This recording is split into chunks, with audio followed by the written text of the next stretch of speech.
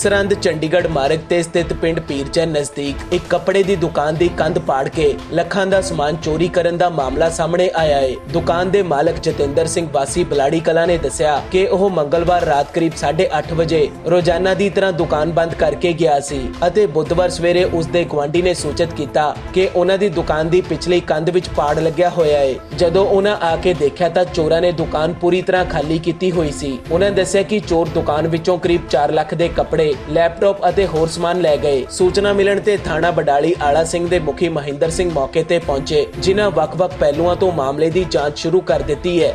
ਇਹ sir actually ਰਾਤ 8:30 ਵਜੇ ਅਸੀਂ ਸ਼ਾਪ ਕਲੋਜ਼ ਕਰਕੇ ਚਲੇ ਗਏ ਸੀ ਤੇ ਸਵੇਰੇ ਫਿਰ ਨਾਲ ਵਾਲੀ ਦੁਕਾਨ ਤੋਂ ਪਤਾ ਲੱਗਿਆ ਵੀ ਦੁਕਾਨ ਨੂੰ ਸਾਈਡ ਤੇ ਪਾੜ ਲੱਗਿਆ ਹੋਇਆ। ਉਸ ਤੋਂ ਬਾਅਦ ਅਸੀਂ ਦੇਖਿਆ ਤੇ ਪੁਲਿਸ ਥਾਣੇ ਜਾ ਕੇ ਰਿਪੋਰਟ ਲਿਖਾਈ ਆ।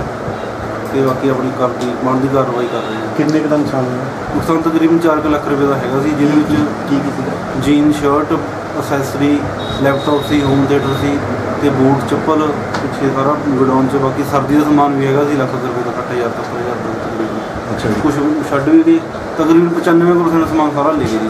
ਕੋਈ ਸੀਸੀਟੀਵੀ ਕੈਮਰੇ ਲੱਗੇ ਹੋਏ ਸੀ ਦੁਕਾਨ ਤੇ? ਸੀਸੀਟੀਵੀ ਸੁਣਦੀ ਰਹੀ ਆਈਡੀਆ ਕਿੰਨੇ ਕੁ ਦਾ ਹੋਇਆ ਨੁਕਸਾਨ? ਤਕਰੀਬਨ 4 ਲੱਖ ਦਾ ਐਸਟੀਮੇਟ ਹੈਗਾ ਜੀ।